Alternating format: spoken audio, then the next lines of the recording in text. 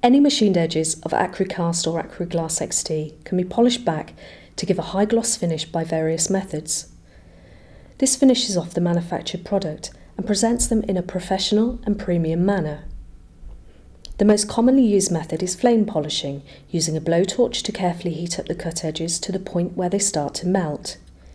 This method gives excellent results, but it requires a degree of skill to heat the material evenly and to just the required temperature, without burning it or causing crazing. Overheating will also create stresses in the material which will weaken it.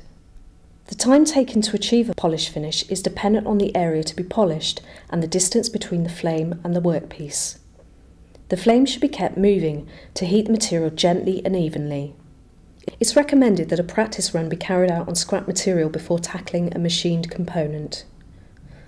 Mechanical polishing is also possible with either buffing or diamond polishing machines. With both processes, care must be taken to get the right combination of speed and quality so that overheating does not take place. Both these processes induce less stress than those already shown and achieve the highest quality edge.